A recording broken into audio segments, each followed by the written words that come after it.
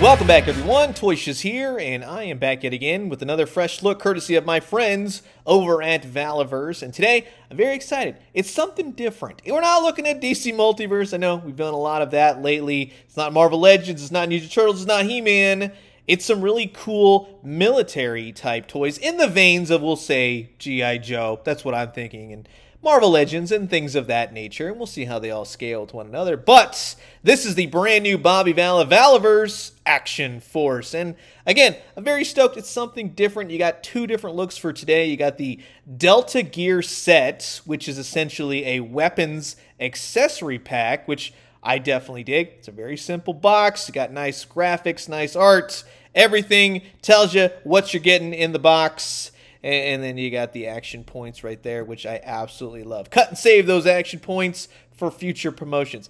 It's like pizza points. You got me with that. That is awesome. And of course, we also have the Delta Trooper. So again, just to kind of reiterate, you want a weapons pack, you got a weapons pack. You want an army builder? Hey, you got the Delta Trooper. Or you can smush them together and you got one souped up trooper. Here's a little bit of a bio for him. It's a various man with no name trooper, we'll just say. And of course, You've got the action points on there as well. Now, if you are interested, I'll put a link down in the description below. You can check out the Valaverse.com website. You can check out all the various figures, the weapons packs. We'll see how everything kind of fits with various action figure lines and, you know, the whole spiel by now. But in either case, this is going to be fun. Sit back, relax, grab yourself a nice hot cup of coffee. This is a look at the brand new Action Force Delta Gear set and the Delta Trooper by Valaverse. Now, just before we get started, I want to point this out. You have, again, a really nice solid box. It's just a box. Simple, right? You open the box, and it's got little poly bags, and I absolutely love that. There's not a whole lot of plastic trays and things you got to cut. It's just a little baggie with the weapons and the figure. That's awesome. Please do more of that, right? So here's everything out of the two packages. I was going to do a big video, right, where I looked at everything that they kind of sent over.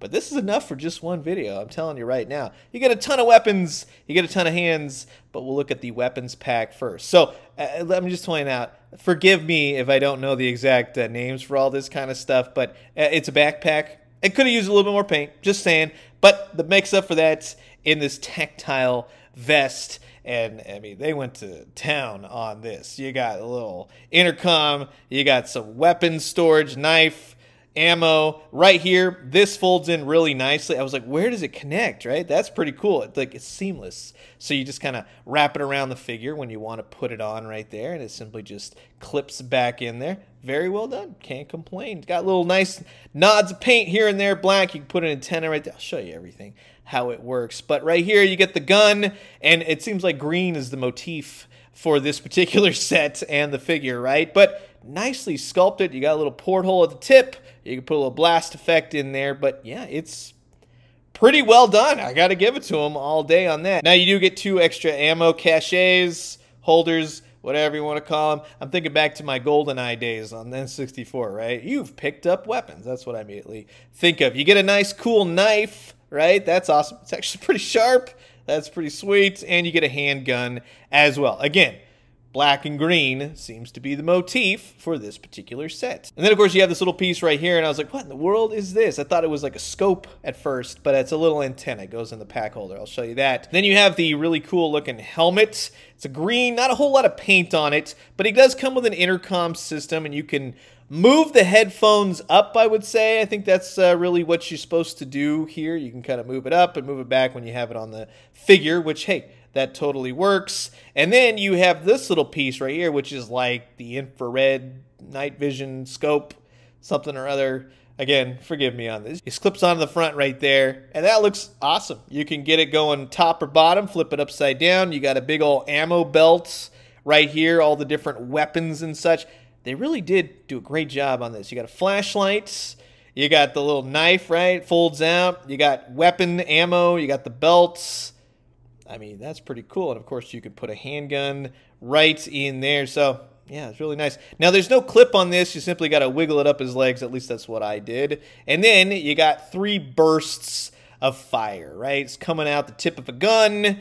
And you got a little mini burst, long burst, short burst, you know, you get the idea. Two of them fit in, one of them will clip on, just don't drop it and lose it. But let's look at how the vest works, right, in detail. So you get the little antenna right here, and that will plug in, right? I like that they did that. I like how everything comes apart or plugs in and you can customize the heck out of it. You can put the knife right there so that slides in just like that.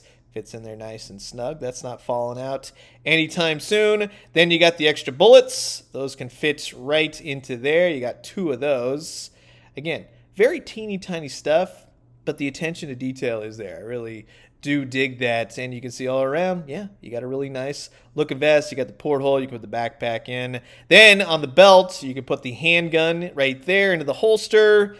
And uh, bingo bango, yeah, we've got some great looking accessories. Oh, wait, yeah, there's a figure we need to talk about too, right? Well, just the figure comes with a ton of extra hands. And something I want to point out when you have, let's say, Marvel Legends or Power Rangers, Power Rangers Lightning Collection, the hand ports are very thin. This is a nice thick port, and it slides in there and it stays and it doesn't feel like you're going to break it. So I definitely like that. That's a nice change of pace. I'll tell you what. You do get a gun with this guy. There's no paint on this one. It's got a silencer. It's got ammo sticking out the bottom. It just looks like you're going to wreak havoc with that. And then you get an extra head portrait. So you can go Caucasian style or you can do African American. And I like that they gave you the options on that. And they're both painted really nicely. Kind of looks like Sin Eater from uh, Marvel. Just saying, that would make for a, an interesting variant, right? A little purple on this guy. I don't know. We'll talk about that later because, yes, we actually have a figure to look at. And this very much feels like a Marvel Legends figure. It feels like a Hasbro Power Rangers figure. Feels like a G.I. Joe figure. And that's not a bad thing. But it feels different in the sense that it's a little bit heavier, right? It's a very solid plastic. And just in terms of the sculpt and all the detail, I mean, it's a good looking figure. I'll give him that all day. The articulation is pretty much perfect. I have to say, you get a lot of rotation in the head. You got butterfly joints. You got double jointed elbows. Everything's pinless. I really like the torso on this particular figure. I like that you can do the waist. You get a lot of momentum.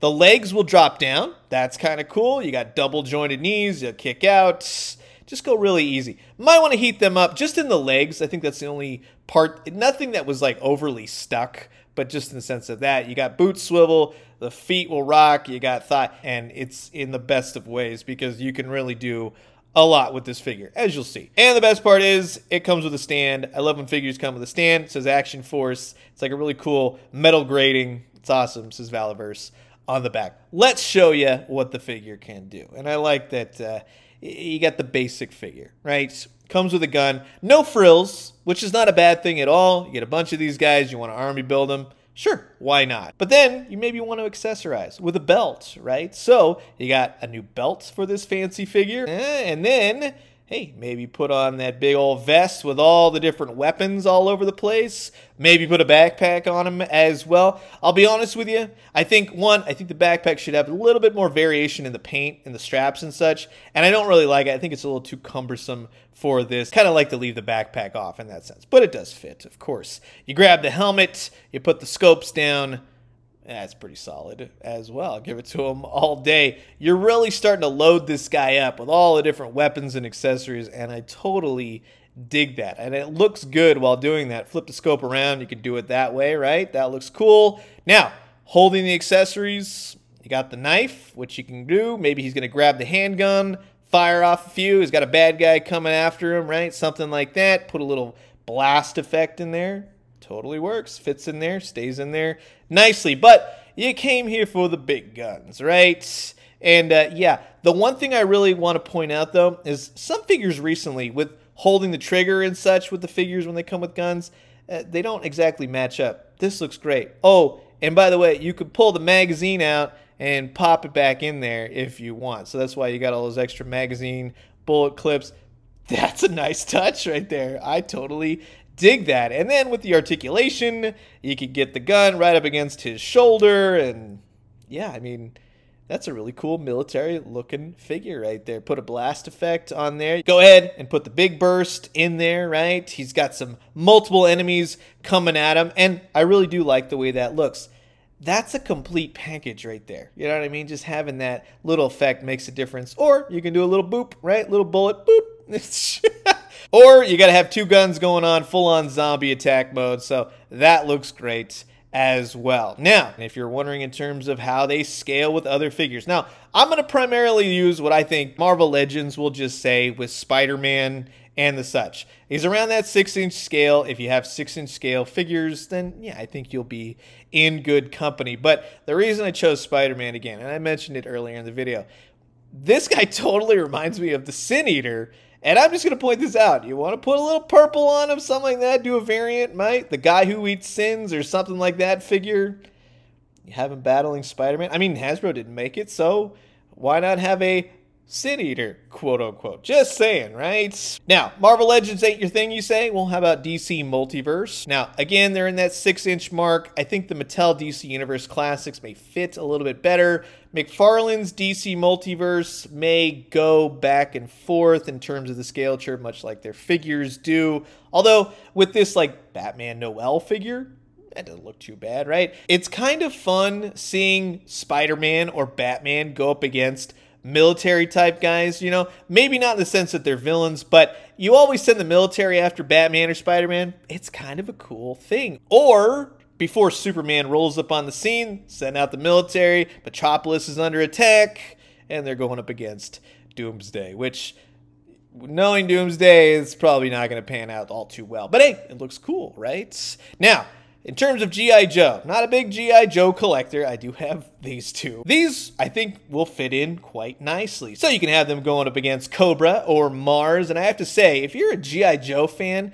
if you're going Valaverse, if you're going G.I. Joe Classified, man, uh, there is a lot going on for you guys. I'm not even a fan of G.I. Joe, but I want that Serpentor that uh, they released during Comic Con. That thing looks amazing and so ridiculously 80s at the same time.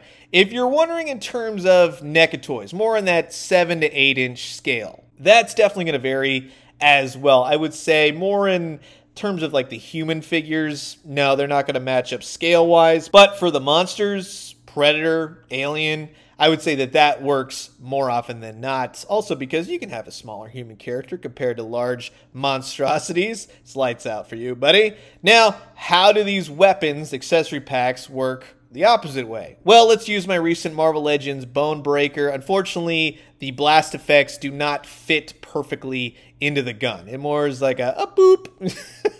just kind of hangs there. So in that sense, now the blast effects may not work for newer type stuff, but in juxtaposition, if you wanted to give these Valaverse weapons to G.I. Joe, those will totally be compatible. I have another set of weapons. I'll look more at that into detail coming soon, so stay tuned for my next video. And if you want to use G.I. Joe for Valaverse, you can totally do that as well. And like I said, I do have a few more figures. I got an accessory pack to check out, so look for those videos later on. And that's going to wrap it up for my look at the brand new Valaverse Delta Trooper and Delta accessory sets. And again, thank you to Bobby Val and Valaverse for sending this out to give you guys this fresh look. You've heard my thoughts. Now I'm curious to know yours. Comment below, let me know. Let's talk everything Action Force.